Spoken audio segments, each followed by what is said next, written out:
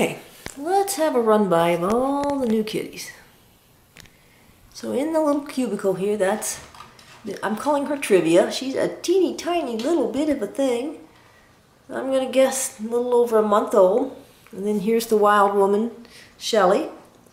Um, it's just getting here, so I can't tell if it's to be typical for her that she just doesn't like other cats, kittens, or whatever, or she just is still adjusting to the fact that she was with two other kittens, I think, and got separated from them.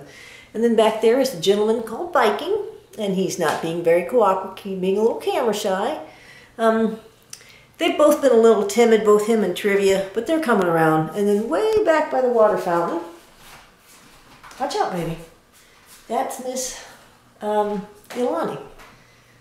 She is a feisty little girl herself, aren't you, honey? Yeah.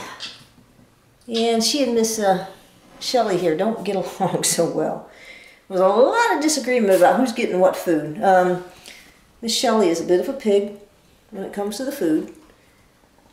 So um, just something, but she's not, typically kittens really can't over, normally don't overeat just because they need so many calories to keep all that energy going out. So anyway, here's the crew. Yeah, you gonna talk to them? One and all.